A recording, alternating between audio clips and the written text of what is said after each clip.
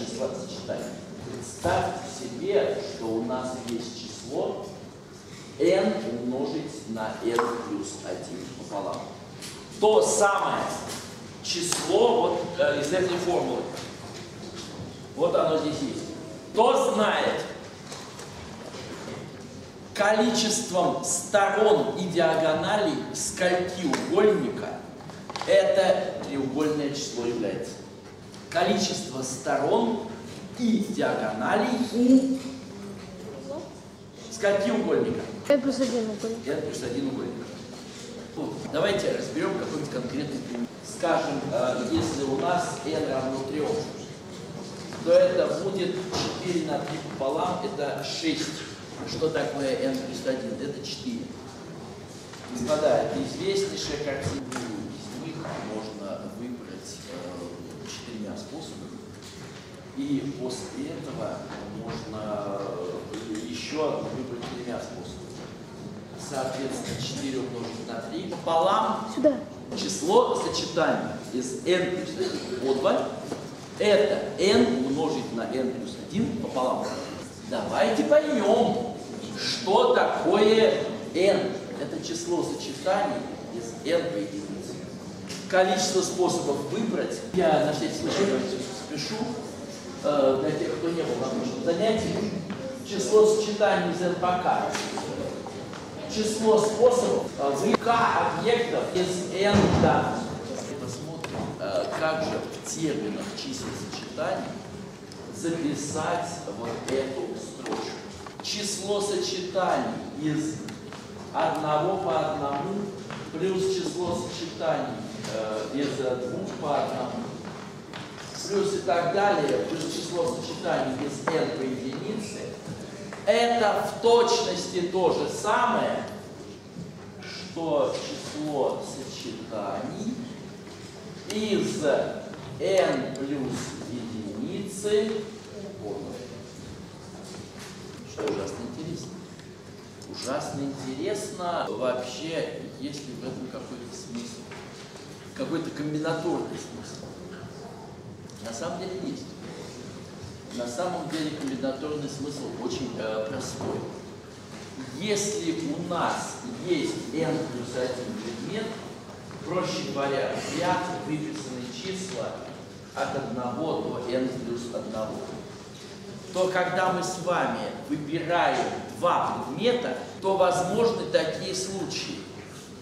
Мы выбрали число n плюс 1 и любое перед ним. Это n способ. Или наибольшее число из выбранных – это n. Тогда можно выбрать любой n-1 вариант перед ним. Что я сейчас пытаюсь сделать? Формула, которая написана на правой части доски. А, Вообще это алгебраически доказанные, ну или по крайней мере по индукции их можно легко доказать. Я сейчас пытаюсь этим формулам приписать какой-то комбинаторный смысл. То есть объяснить, что это чайная такая вот штука, это не просто так возникло там, в алгебре, там что-то чему-то равно, а что у этого есть какая-то комбинаторная причина. Начал я с вещи очень простой, а именно, задал себе вопрос, вот есть n плюс 1 предмет. Что такое n плюс 1, понятно? Число, n плюс 1 предмет. Думая, как из n плюс одного предмета выбрать два. Ну, когда вы выбираете два предмета, один из них будет поменьше, другой побольше. Давайте все, на все смотреть с точки зрения большого. Давайте так, для начала. Может ли большой предмет это быть число 1? Можем ли мы из чисел от 1 до n плюс единицы выбирать э, число 1 и еще меньше? Не можем, потому что меньше плюс нет. Значит, единицу брать в качестве наибольшего числа бессмысленно. А вот двойку уже можно, но только единственным способом. Потому что если выбрал двойку, то вынужден будешь брать единицу. Единственный способ. А вот если в качестве наибольшего выбрал тройку, то в таком случае два способа. Меньшее число это или один, или два. Если в качестве большего числа выбрал четверку, то три способа. Один, два, три. Ну и так далее, и так далее, и так далее. Если в качестве наибольшего числа взял n, то n минус 1 способ. Если в качестве наибольшего числа взял n плюс 1, то n способ. Вот так я комбинаторным способом объяснил вам вот это равенство. То, с чего наше занятие началось, про треугольные числа. Сейчас напоминаю, что это равенство, это в точности вот это. Сумма чисел сочетания единиц по одному, больше по одному, далее, z по одному. Это, ребята, только обозначениями отличается вот это равенство от этого, ничем другим. Только обозначениями. Сейчас нужно э, сделать маленький подвиг. Надо в таком же стиле перейти к следующей строке. Но у нас ничего не получится. Э, по той причине, что это не число сочетания. Разделить на 2. Надо разделить на два. Господа, когда вы выбираете один из двух предметов, сейчас делим вот это равенство на 2. Записываем, и у нас получается соотношение, которое уже имеет комбинаторный смысл. Поехали. Э, Одиножды два пополам. Нет, это не один, а это число сочетания. Какими способами может быть два предмета из двух? Вот-вот, это и написано. Дальше, дважды три на два.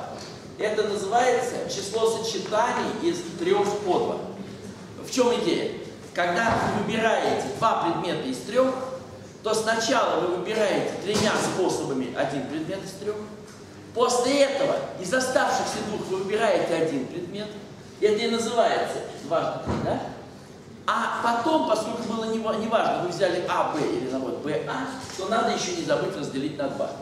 И так далее. Нижнее 4 пополам, это число сочетаний из 4 по 2. И так далее, и так далее, и так далее. В конце концов пишем число сочетаний из n, нет, здесь я договорился так. Э, n на n плюс 1 пополам, это называется у нас, господа, число сочетаний из n плюс 1 по 2. Так вот, оказывается, и это я сейчас комбинаторно вам объясню, это то же самое, что число сочетаний из n плюс 2 по 3. Опять туда написал. Надо было это написать вниз, а туда надо было написать э, вот э, ту замечательную формулу. N плюс 2 умножить на n плюс 1 умножить на n и разделить на 6. А здесь число сочетаний э, из э, n плюс 2 по 3. Значит, э, господа, каким способом объясняется вот это равенство? Если у нас есть всего n плюс 2 предмета, n плюс 2, и из этих n плюс 2 предметов вы выбираете три штуки, то опять из этих трех штук есть наибольший. Самый наибольший не может быть ни единицей, ни двойкой, потому что тогда двух предыдущих не, не бывает. Значит, самое маленькое значение это тройка. То есть 3, 2, 1. Бывает. Единственный способ. Или наибольший это четверка. Тогда 2 меньше, это количество вариантов, число сочетаний из 3 по 2. Ну и так далее, и так далее, и так далее. В общем, подумайте, э, подумайте, как это э, получить. В общем, господа, те равенства, с которыми мы сегодня работали, на самом деле легко записываются естественным образом при помощи чисел сочетаний.